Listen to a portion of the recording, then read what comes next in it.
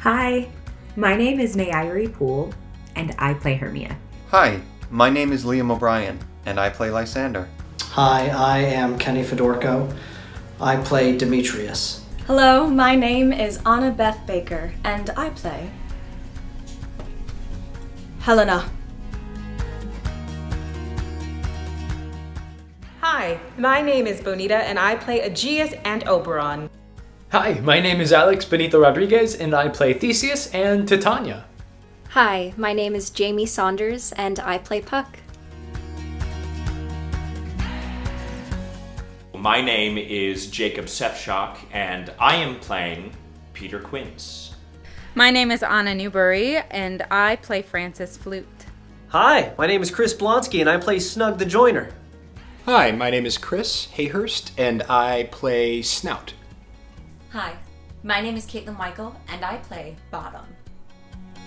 Our story begins. Our story begins. Our story begins in Athens. In Athens. In Athens. Theseus, the Duke, is visited by Egeus, who wants her daughter Hermia to marry Demetrius. I, Demetrius, want to marry Hermia, um, but Hermia decides to run away to the woods with Lysander. Helena loves Demetrius. Demetrius loves Hermia. So, Helena decides to tell Demetrius that Hermia has run off into the woods, and Helena follows Demetrius into the woods. Bottom and all her friends, the mechanicals, start to rehearse a play to perform for the Duke in the woods. Where things get magical.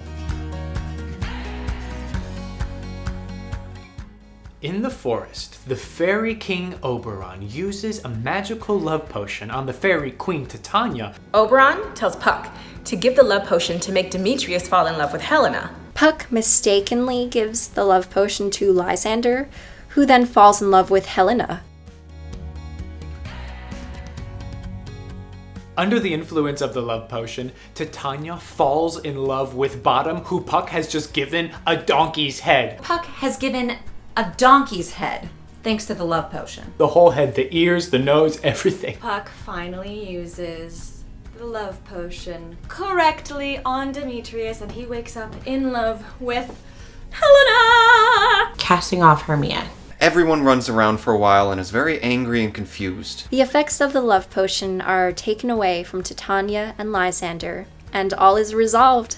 Everyone gets married. Everyone gets married. Everyone gets married. Everyone gets married. The mechanicals are finally able to perform their play in front of the Duke, in front of the ladies, in front of the Duchess. And in doing so, they learn about the unpredictability of live theater and the joy of live theater. They learn some things. They struggle. The struggle is real. They commit. And nobody dies. The end. The end. The end. The end.